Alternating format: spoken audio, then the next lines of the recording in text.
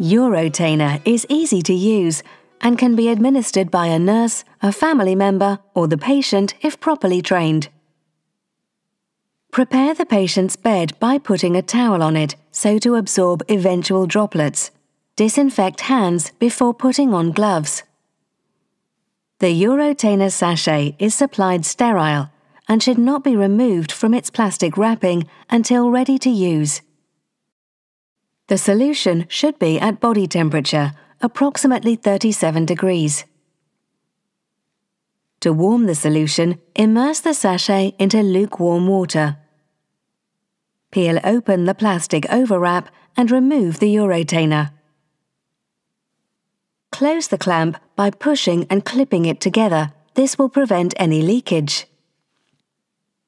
Next, pull the green tag and remove it completely from the cap.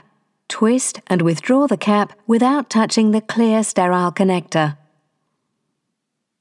Insert the Uro-Tainer sterile connector into the catheter.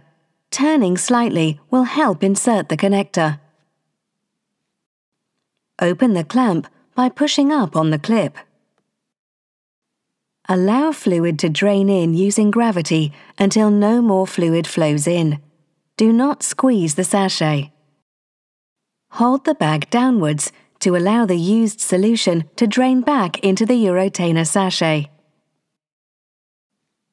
When the bag is full, close the clamp and remove the bag from the catheter. Attach the drainage bag. Discard the Uro-Tainer properly after use. Always remember hand hygiene.